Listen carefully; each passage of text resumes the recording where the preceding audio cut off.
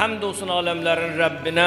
Allah bizi gözəl bir gündən gözəl bir günə çıxartdı. Yəni Ramazandan bayrama çıxartdı. Ramazan bir gözəllik, bayram bir gözəllik. Çalışaq bundan sonra günlərimizi Ramazan kimi, ömrümüzü bayram kimi keçirdək. Çalışaq dünyanın şəhvətləri, dünyanın hissləri, dünyanın ləzzətləri bizi məftun etməsin. Bizim başımızı qarışdırmasın.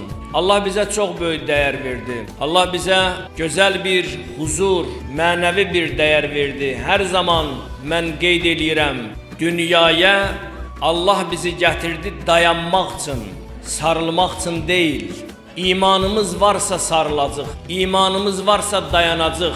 Yəni elə bir sarılma ki, o bizi axirətə aparacaq. Elə bir dayanma ki, o bizi möhkəm saxlayacaq. Və bəzən insan sarılmanı dünya üçün bağlayır. Axirətə sarılmaq, axirətə iman gətir. Səbrimiz varsa dayanacaq. Səbrimiz varsa axirətə iman gətirib dünyada yalan, böhtan, qeybət, məkr, hilə, xoşa gəlməz rəzilliklərdən uzaq olacaq. İslam mənəviyyatımdır, İslam mənim vüqarımdır. İslam mənə hökm eyləyən, İslam mənim qərarımdır.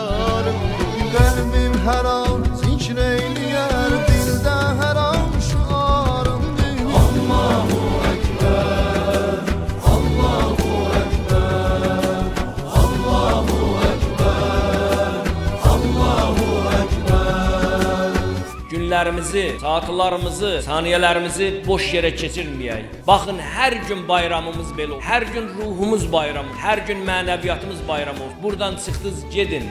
Bu namaz sizi öldürməsin. Bu namaz sizi diriltsin.